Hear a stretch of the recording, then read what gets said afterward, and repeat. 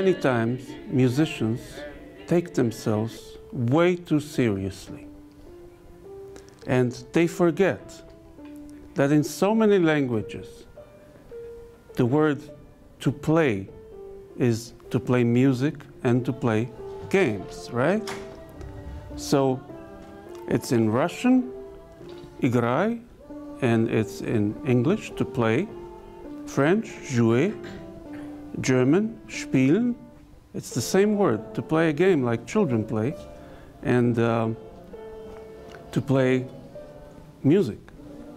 But many times we get so serious about ourselves that we forget that there is a lot of play, as in game, in music. Uh, I started this project here called Internal Compass, uh, which uh, brings together youth from West and East Jerusalem for workshops that are focusing on improvised music as a tool to increase curiosity rather than fear. I think that in the current uh, complex environment of Jerusalem, fear is kind of dominating a lot of the dialogue.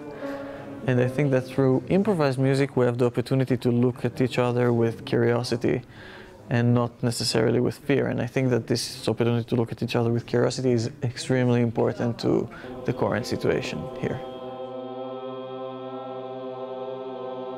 In this project, we enter a new way of communication because actually what we want to create is meaningful interactions between people of different communities who have high levels of stereotypes and uh, prejudices. But when you have this type of interaction, you get rid, you get to know the other in a real way, and you get rid of most of these stereotypes and prejudices.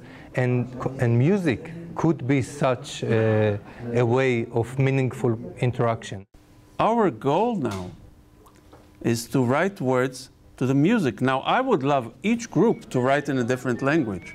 That means one group in Arabic, one group in Hebrew, and one group in English.